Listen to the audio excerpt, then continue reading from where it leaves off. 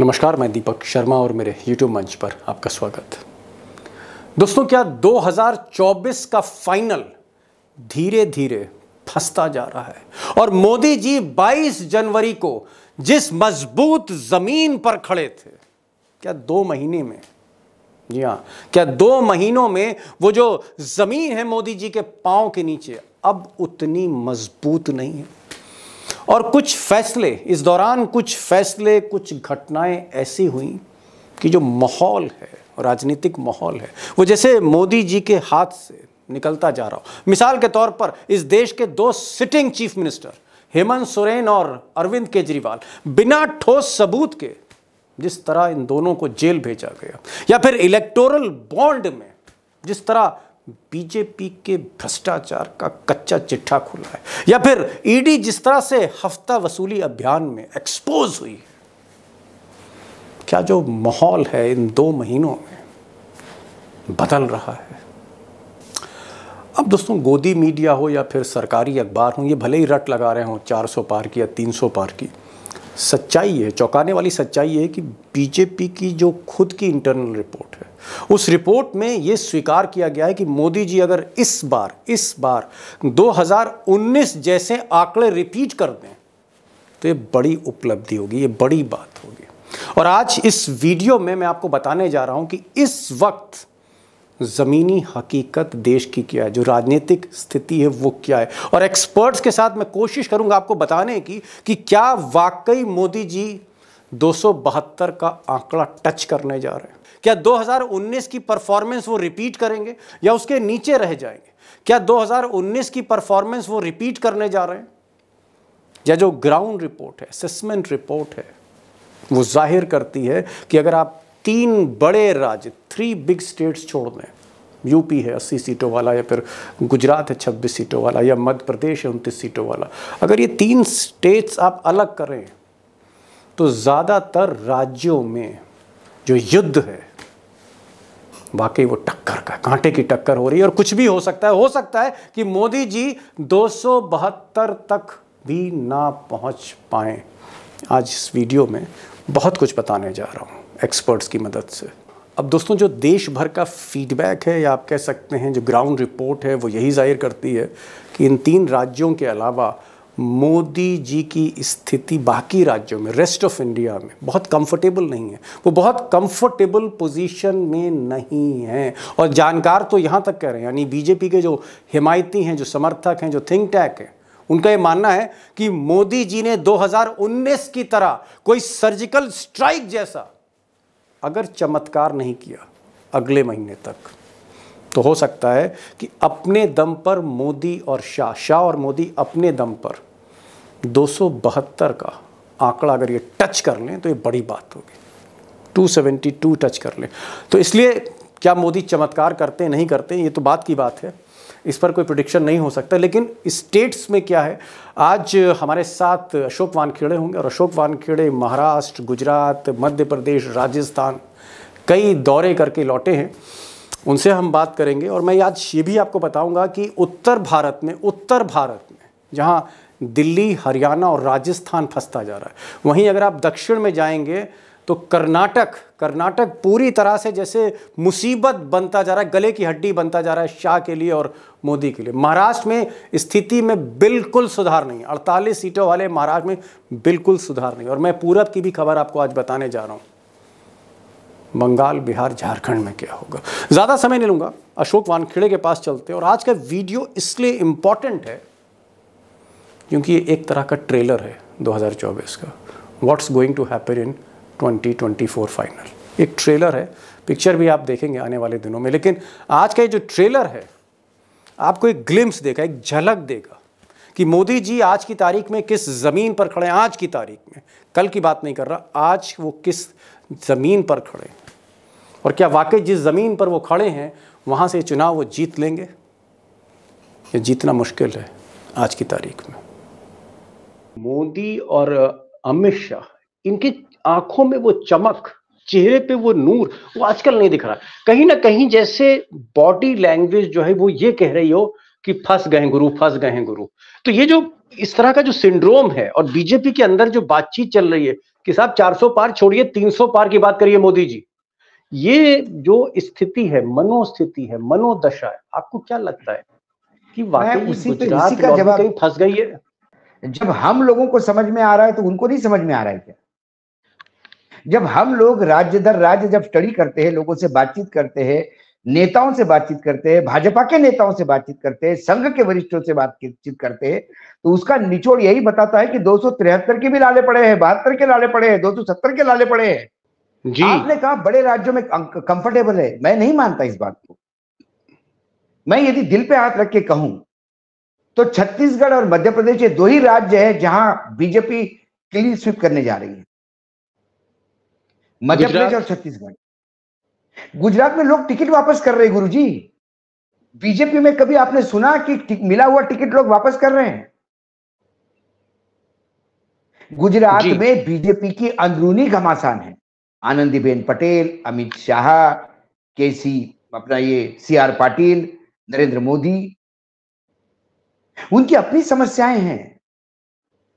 कमज़ोर मुख्यमंत्री नितिन पटेल ने कहा कि मैं राजनीतिक संन्यास ले रहा हूँ। ये लोग क्यों भाग रहे हैं? They are reading between the lines Maharashtra. Maharashtra तो मैं बोला सिंगल डिजिट सबसे ज़्यादा बुरी दुर्गति यदि बीजेपी की कहीं होने जा रही है तो महाराष्ट्र में होने जा रही है। दो छोटे छोटे कारण महाराष्ट्र में क्यों फंस रहे मोदी? छोटे छोटे महाराष्ट्र में इसलिए फंस गए मोदी कि मोदी जी यदि ये सरकार नहीं गिराते तो 48 के 48 सीटें बीजेपी की होती है अपने बलबूते पे। शिवसेना तोड़ के एनसीपी तोड़ के और महाराष्ट्र के कुछ प्रोजेक्ट गुजरात ले जाके इन्होंने गुजराती वर्सेस मराठी ये जो सेंटिमेंट पैदा किया है वो सीधा मराठी अस्मिता पे चला गया। नहीं अब तो राज ठाकरे को लाना चाह रहे हैं तो जो भाई राज ठाकरे क्या? दीपक भाई क्या है राज ठाकरे? जी। ये तो ऐसा हो गया कि आपको कोई गेस्ट नहीं मिला तो अखबार बेचने वाले हॉकर को बिठा लिया आपने। ये मीडिया से मीडिया से संबंध रखता है अखबार बेचता है चलो इस चीज़ को बिठा लो। आप अपना शो बंद कर देंगे लेकिन ऐसा नहीं करेंगे। इनकी मजबूरी है तिनके का सहारा। आज उत्तर प्रदेश में उनका मंत्री राजभर कहता है कि गरीबों का मसीहा था मुख्तार अंसारी। और ये उसको चुप नहीं कर पा रहे हैं। आपको फ़िल्मों की हीरो, हीरोइन और क्रिकेट प्लेयर्स लाने पड़ रहे हैं। इसका मतलब है आपको जीतने की बिल्कुल गारंटी नहीं है। मैं बार बार कह रहा हूँ, जो आदमी पूरे देश में गारंटी बांट रहा है, उसकी खुद की गारंटी खुद को नहीं है। टाइगर, क्योंकि आप एकमात्र, मेरी नज़र में नहीं, आप हकीकत में एकमात्र ऐसे पत्रकार हैं आज की तारीख में जो एक कदम अगर आपका महाराष्ट्र में होगा तो अगला कदम आपका गुजरात में होगा। आप जितना टूर करते हैं, मुझे नहीं लगता है कि किसी भी टीवी चैनल का कोई एंकर, रिपोर्टर, अखबार का कोई रिपोर्टर टूर करता होगा। या तो मोदी टूर कर रहे हैं, या फिर अशोक वानखेड़े टूर कर रहे हैं। मैं आपसे जानना चाह रहा था, मैं लाभ लेना चाह रहा हूँ। ये जो आप राज्यों में जाते हैं, लोगों से बात करते हैं, मिलते हैं, मैं आपसे ये पूछना चाह रहा हूँ दो दो लाइन में मैं एक एक राज्य बोलता जाऊँगा जो नक्शे पे आ रहे हैं। आप दो दो लाइन का जवाब देते जाइएगा मैं शुरू करने जा रहा हूँ हरियाणा से। हरियाणा आपको फंसा हुआ क्यों दिखता है? हरियाणा में इसलिए फंसा हुआ हरियाणा में इसलिए फंसा हुआ है कि वहाँ बाहरी और अंदर के लोगों का झगड़ा है। साठ प्रतिशत सीटें छह दस में से छह सीटें पे वो लोग चुनाव लड़ रहे हैं जो कांग्रेस से बीजेपी में आए। बीजेपी ही निपटाएगी बीजेपी को। बीजेपी ही निपटाएगी।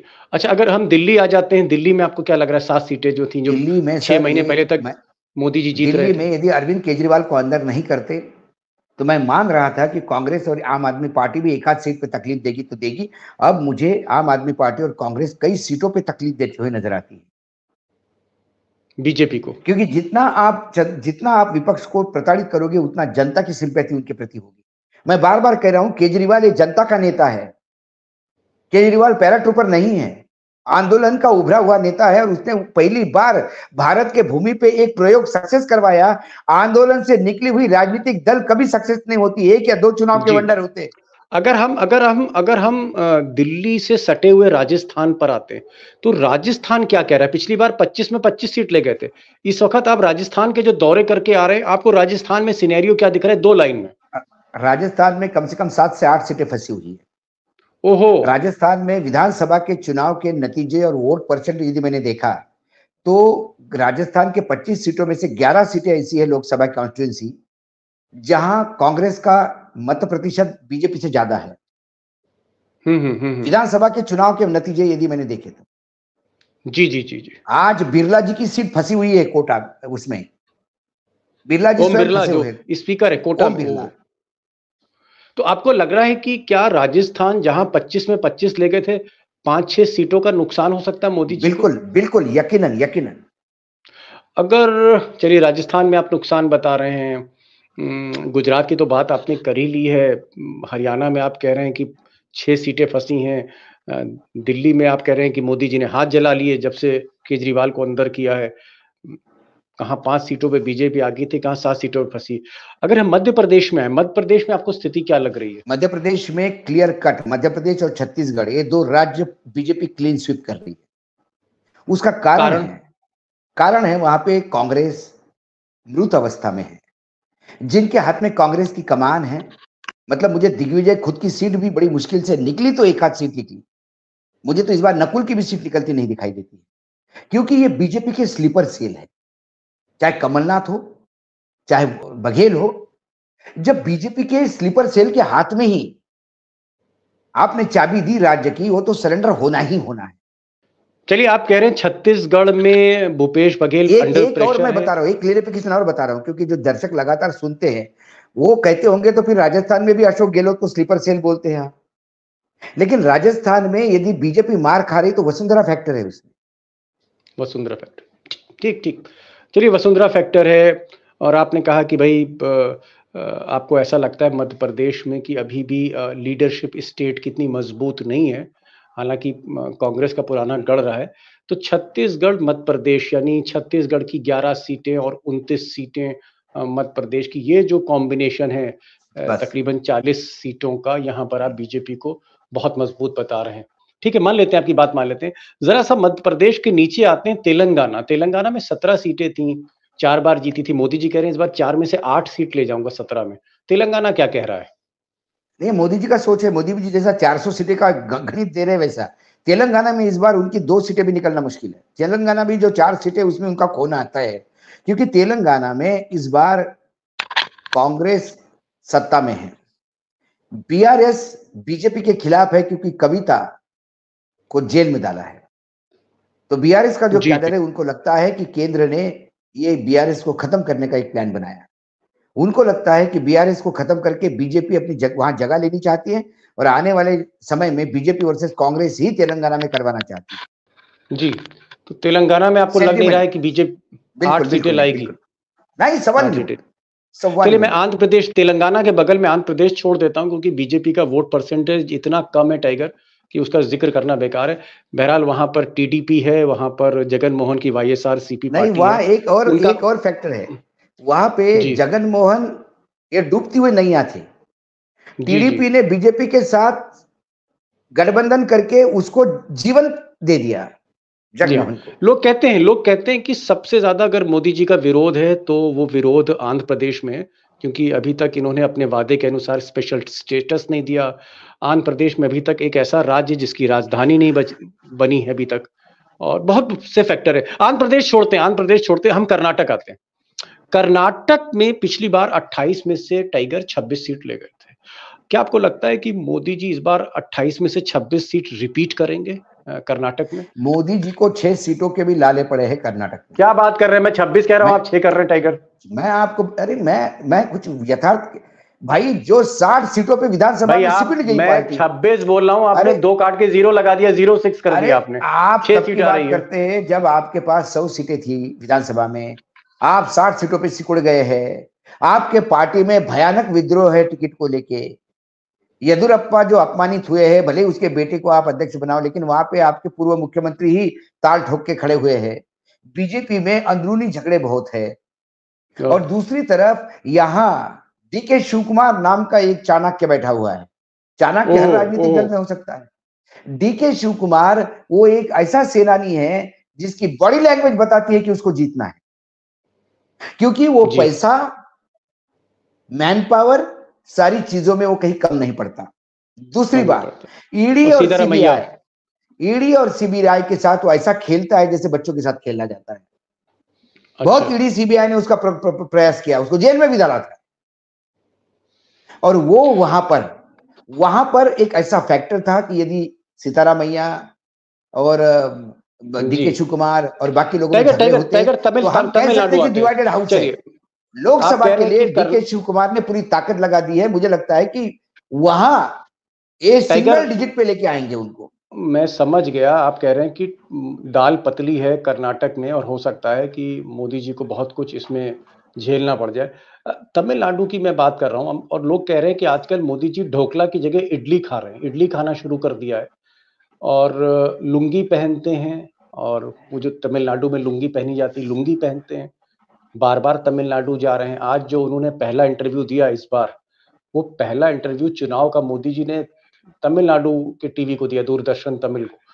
तो और लुंगी पहन के दिया।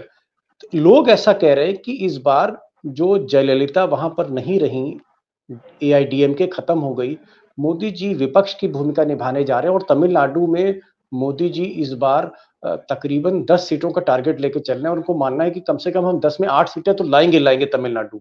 देखिए दीपक भाई जी मैं नहीं कह रहा ये बीजेपी कह रही है। मैं जो कुछ बोलने जा रहा हूँ फिर आपको बीजेपी को ये लग रहा है वहाँ पे डीएमके कांग्रेस एक है एआईए डीएमके समाप्ति की ओर है तो एक अपोजिशन का जगह हम ले सकते हैं। ये उनका सोच है।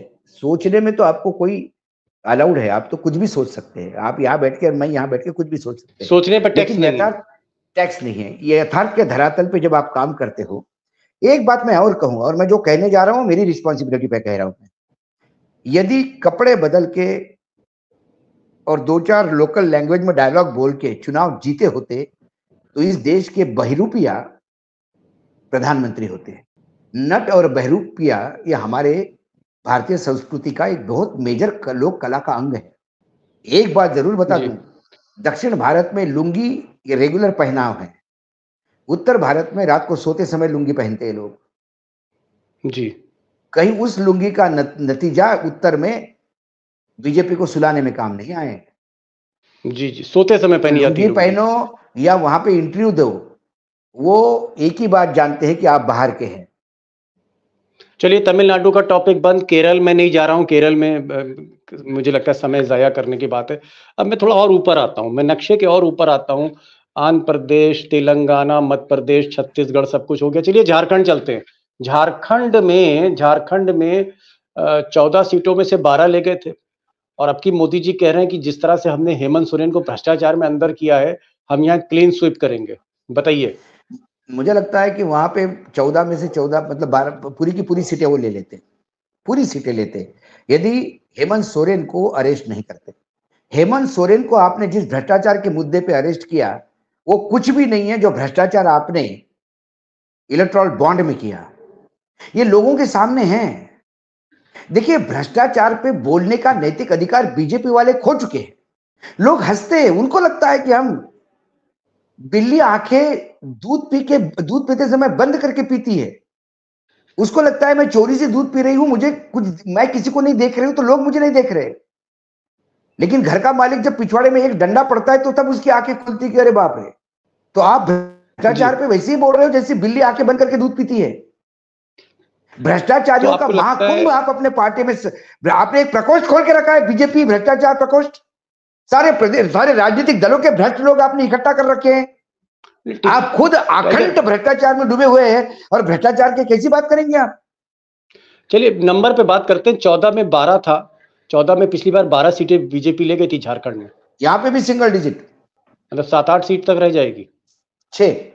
चलिए वो तो आपकी गणित होगी पॉइंट ऑफ़ टाइम मेरा ठीक है मैं बहुत माइक्रो लेवल पे नहीं जा रहा हूँ कि कौन सीट जीत रही कौन वो तो फिर दो घंटे चाहिए। बिहार आते बिहार में जरा सी बात करते Bihar is very crucial Bihar में चालीस में से उनतालीस सीट ले गए थे नीतीश कुमार के साथ और नीतीश कुमार को मोदी जी फिर लिया है अपने साथ। आपको क्या लग रहा है कि कम से कम चालीस में तीस सीट तो ले जाएँगे मोदी जी? नहीं, गठबंधन कागज़ भी हुआ है, नीचे नहीं हुआ। अविश्वास का दौर चल रहा है। ना वो नीतीश कुमार पे विश्वास रख रहे ना नीतीश कुमार बीजेपी पे। नीतीश कुमार को डर है कि आने वाले समय में यहाँ बीजेपी इतना बड़ा क्योंकि पिछले विधानसभा में उन्होंने देख लिया। कैसा उन्होंने एक फैक्टर चलाकर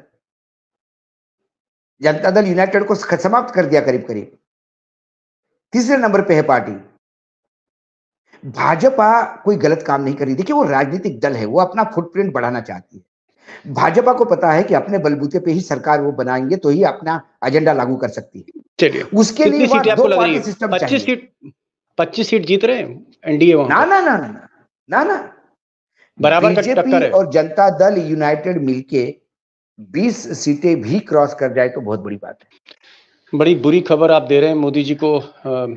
टाइगर दो स्टेट बच गए मैं असम असम फिर कभी बात करेंगे। बंगाल और उत्तर प्रदेश बच गए। पहले बंगाल चलते हैं। बंगाल में 18 सीटें ली थी 42 में मोदी जी ने। और डंके की चोट पे सीना ठोक के अमित शाह कह रहे हैं कि इस बार 35 सीटें लाऊँगा 35 सीटें। ऑन रिकॉर्ड कैमरे पे बोल रहे हैं जगह जगह तो क्या 42 में से 35 सीटें लाने जा रहे हैं या 18 सीट भी नहीं मिलेगी जो पिछली बार मिली थी मोदी जी को बंगाल में? कोई जी कोई जीएसटी नहीं लगता बोलने पे ना मेरे ना अमित शाह के। इस बार अठारह में से आठ बचा ले इज़्ज़त बच जाएगी। आठ। सीट सीट पे झगड़ा है। जो पहाड़ी सीट इनकी पुरानी जमाने में जब दो ही सीटें हुआ करती थी बंगाल में वो पहाड़ी सीट पे भी अंदर का और बाहर का विद्रोह खड़ा हो गया है। कहते कि बहुत हो गया अब हमको बाहरी उम्मीदवार नहीं चाहिए। हम्म हम्म, हम्म। टाइगर बिहार भी हो गया बंगाल भी हो गया अब यूपी की बात कर लेते हैं। भाई मुख्तार अंसारी की जिस तरह से भीड़ आ रही है अब मुख्तार अंसारी माफिया डाउन है बाहुबली है जो भी है लेकिन किसी जनाजे में इतनी भीड़ मतलब तो नहीं देखी गई। लोग कहते हैं कि बाल ठाकरे साहब की जब यात्रा अंतिम निकली थी बंबई में हाँ, भीड़ थी उतनी भीड़ आज यहाँ पर दिख रही है। चलिए भाई मुख्तार अंसारी का मामला चलिए गाजीपुर से घोसी मऊ इलाके में है। ऐसा लोगों का कहना है और वहाँ के पत्रकारों का भी कहना है, बीजेपी भी मानती है कि योगी की इमेज का भी थोड़ा बहुत फ़ायदा है डबल इंजन की सरकार है और मंदिर भी बना है और सांप्रदायिक ध्रुवीकरण भी है वहाँ पर खूब और सपा बसपा को भी डरा रखा है, कांग्रेस ने अभी सीट वहाँ डिक्लेयर नहीं करी है। राहुल गांधी अमेठी से लड़ेंगे, प्रियंका गांधी, कुछ भी वहाँ डिसाइड नहीं हुआ है और कोई कैंडिडेट भी बहुत मज़बूत नहीं कुछ लोग कहते हैं, साहब, अखिलेश यादव को मैनेज कर लिया कोई कुछ कह रहा है, कोई कुछ कह रहा है। मैं आपसे पूछ रहा हूँ कि क्या 80 में 70 सीटें ले जाएँगे? 70 सीटें मिल जाएँगी यूपी में मोदी जी को जो अस्सी में? तिरसठ मिली थी उसमें दस कम है। पचास से पचपन के बीच में सीटें आएगी। ये बीजेपी के बड़े नेता का आकलन है यूपी के। टाइगर आज आप गुजरात लॉबी को बेहोश कर देंगे। ऐसी बातें कर रहे हैं। मैं कारण बता दू कारण बता दू अखिलेश कैसे मैनेज हो गए? अखिलेश की जो पहली लिस्ट आई थी पहली लिस्ट अखिलेश की तेरह लोगों की उसमें सात या आठ सीट हंड्रेड परसेंट निकलने वाली है। कास्ट कॉम्बिनेशन ऐसा लिया था। मायावती जी ने जो सीट दी है पहली लिस्ट में जहाँ ठाकुर दिया बीजेपी ने वहाँ मायावती ने ब्राह्मण दिया। यदि अपर कास्ट की वोट ब्राह्मण ठाकुरों में डिवाइड हो गया तो मुस्लिम और बाकी कई सीटों पे मैं देख रहा हूँ मायावती ने जैसे कैराना सीट में मुसलमान नहीं दिया और जो मुसलमान कैंडिडेट दिए भी हैं बहुत हल्के दिए मायावती ने इस बार। मैंने कहा ना आपको मायावती जी ने इस बार बढ़िया गेम खेला जो बीजेपी के गले उतर गया। जी। तीसरी बात है जयंत चौधरी को आप ले आए जयंत चौधरी को जितना अपमानित किया आपने उसको मीटिंग के तक का टाइम नहीं दिया। जयंत चौधरी और एक भारत रत्न लेके क्या करेंगे? उससे से वो मत थोड़ी मिलते। जो जाट है जो। अपमानित हुआ है वो तो जयंत चौधरी को उसका खामियाजा भुगतना पड़ेगा। Tiger tiger let's come to फिर एक मिनट मुख्तार मुख्तार की बात बता दू मैं आपको। अकेला ये मुख्तार का जो इम्पैक्ट है आप लिख लीजिएगा। आपको बता दूँ मैं चंदोली भदोही आजमगढ़ घोसी बलिया गाजीपुर और बनारस। हम्म, हम्म। बनारस में प्रधान प्रधानमंत्री जी चुनाव 100 परसेंट जीत जाएँगे। मैं आज ही घोषणा करता हूँ। मोदी जी वहाँ जीत जाएँगे लेकिन मोदी जी का मार्जिन यदि कम हो गया मुख्तार हारने तो हारने से भी ज़्यादा अपमानस्पद है वो। जी हाँ मगर पंद्रह हज़ार भी कम हुए मोदी जी के वोट तो एक तरह का अपमान ही है क्योंकि आपका कहना है पचास हज़ार एक लाख वोट बढ़ने चाहिए। बहरहाल बहरहाल tiger final comment final comment. आपने जो हिंदुस्तान की तस्वीर दिखाई है जो राजनीतिक मानचित्र हमने देखा भाई घबराहट तो ज़रूर बीजेपी के भीतर है ऐसी मैसेजेस आ रहे हैं। आपको लगता है कि क्या मोदी आने वाले डेढ़ दो महीने में और ज़्यादा डेस्परेट कदम ले सकते हैं कुछ अप्रत्याशित कर सकते हैं कुछ बड़ा खेल कर सकते हैं। क्योंकि अगर आप कह रहे हैं कि वो 250 पे अटके हुए हैं दो सौ बहत्तर के लाले पड़े हैं और आपने जो अभी सीन दिखाया वो सीन देखे तो मुझे मैंने आपको कहा ना कि गुजरात लॉबी गश्त आ जाएगी ये 230 गुजरात लॉबी गश्त खा चुकी है। लेकिन ओ, लोगों ओ, के सामने एक फ्रंट फेस दिखाना होता है। जी। देखिए क्रिकेट का मैच हारने के बाद भी जब कैप्टन इंटरव्यू देता है तो वो अपने चेहरे पे एक खींच तान के वो ला के बोलता है कि my boys played well luck didn't support us this time luck this चलिए। Let's see let's see tiger let's see let's see what happens whether Modi says कि लक डजंट फेवर अस किस्मत ने हमारा साथ नहीं दिया या हमने सुपड़ा साफ़ कर दिया फिर से झाड़ू लगा दी हमने। देखते हैं क्या होता है बहरहाल बहुत सी चीज़ें अभी तस्वीर पूरी आनी बाकी है लेकिन आज जो आपने ट्रेलर आपने जो ट्रेलर दिखाया आज दो महीने पहले ये ट्रेलर बड़ा मतलब मुझे तो लगता है कि ये अगर वाकई जो आप बता रहे हैं अगर कुछ इस तरह की तस्वीर उभर रही है it's not a good message देखिए नतीजे को अभी दो महीने हैं दीपक भाई। मैंने ऐसा नहीं कहा मैंने मध्य प्रदेश और छत्तीसगढ़ में तो बिल्कुल क्लियर कट एक सीट भी मैंने विपक्ष को नहीं दी। मैं तो राजगढ़ की खुद दिग्विजय की सीट भी धोखे में मानता हूँ। नहीं अगर आप आए बरा बरा बरा बरा जहाँ जहाँ जहाँ बीजेपी है वहाँ है। जहाँ नहीं है वहाँ ज़बरदस्ती हाँ कहने में कोई मतलब नहीं। आज के क्षण में आज तीस तारीख को जो मैं देख रहा हूँ जो मैं लोगों से बात कर रहा हूँ लगातार मैं एक एक राज्य में वार्तालाप कर रहा हूँ हर दिन में कम से कम 200-300 लोगों से मेरी बात होती है। ये जो मैं डाटा इकट्ठा कर रहा हूँ एक सीट पे जो मैं देख रहा हूँ उसका मैंने आकलन का निचोड़ आज आपके सामने रखा। जी नहीं बिल्कुल बिल्कुल। आपने एक पते की बात कही कि मैच कांटे की टक्कर का है ऐसा नहीं है जो गोदी मीडिया वन साइडेड बता रही है 400 पार वगैरह नहीं है। और एक चीज़ और जो आपसे बातों से निकल के आता है कि कर्नाटक महाराष्ट्र बिहार बंगाल हरियाणा राजस्थान दिल्ली ये कुछ ऐसे स्टेट हैं जो दुखती रग हैं मोदी जी के लिए और यहाँ पर क्या यूपी यूपी। चलिए यूपी भी गिन लेता हूँ। एक एक मतलब पाँच छह स्टेट तो बहुत बुरी तरह से फंसे हुए कैसे मोदी जी यहाँ से अपनी नाव बाहर निकालते हैं ये देखना पड़ेगा। टाइगर आप आए और जिस तरह से एक तस्वीर आपने पेश करी जो एक ट्रेलर आपने दिखाया पिक्चर आपसे देखनी है मुझे पूरी पिक्चर भी आप दिखाएँगे। बहरहाल मैसेज यही है कि मुकाबला एक तरफा नहीं है टाइगर का कहना है कि कांटे की टक्कर है। Let's see what happens on fourth June tiger आप आए, आपका बहुत बहुत शुक्रिया। अपने दोस्तों की तरफ़ से thank you so much for joining this programme thank you so much sir